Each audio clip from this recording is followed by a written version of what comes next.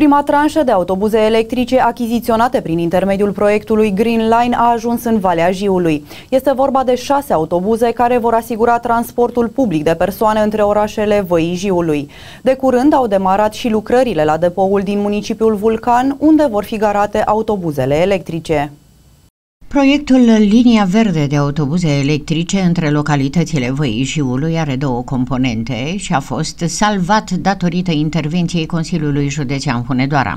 Proiectul acesta este făcut, uh, este o colaborare între toate primăriile din Valea Jiului și Consiliul Județean Hunedoara. Consiliul Județean Hunedoara era uh, instituția care, uh, care era eligibilă. De aceea am intrat și noi în acest angrenaj. Important este că sau la început a fost liderul acestei asoci- asocieri a fost municipiul Vulcan.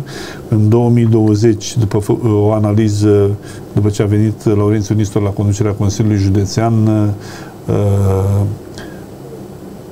am văzut că lucrurile nu merg așa cum trebuie și atunci la o ședință uh, de ADI s-a făcut schimbări, am fost uh, numit uh, eu de către toți acționarii ca președinte ADI-ului și Consiliul Județean a luat frâile în mână.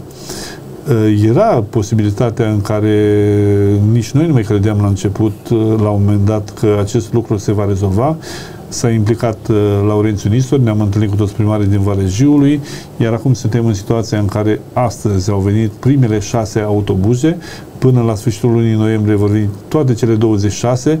Obiectivul principal al proiectului îl reprezintă îmbunătățirea condițiilor de transport public de persoane, reducerea emisiilor de carbon prin utilizarea unor mijloace de transport nepoluante și adaptarea la nevoile actuale de mobilitate urbană din Valea Jiului.